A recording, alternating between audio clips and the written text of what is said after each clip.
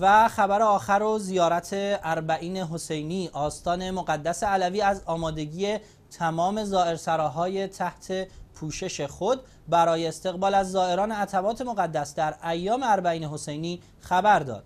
به گزارش پایگاه اطلاع آستان مقدس علوی سید نزار حبل المتین طی بازدید از زائرسراهای تحت پوشش این آستان گفت استراحتگاه ها و زائرسراهای در نظر گرفته شده برای زائران اربعین آماده شده اند و همزمان با آغاز ماه سفر بازگشایی می شود و پذیرای زائران خواهند بود. تولیت آستان مقدس علوی همچنین افزود. این آستان می تواند در زائر سراهای خود از 20 هزار زائر به صورت شبانه روزی پذیرایی کند و برای خدمت رسانی به زائران عتبات در ایام زیارت میلیونی اربعین حسینی برنامه های ویژه در نظر گرفته است. با نزدیک شدن حلول ماه سفر و آغاز مشایع اربعین میلیون ها زائر برای سفر به شهر مقدس نجف آماده می شوند تا از آنجا پیاده به سمت کربلا حرکت کنند میلیون ها زائر دیگر هم از شهرهای دیگر عراق و مرزهای مهران،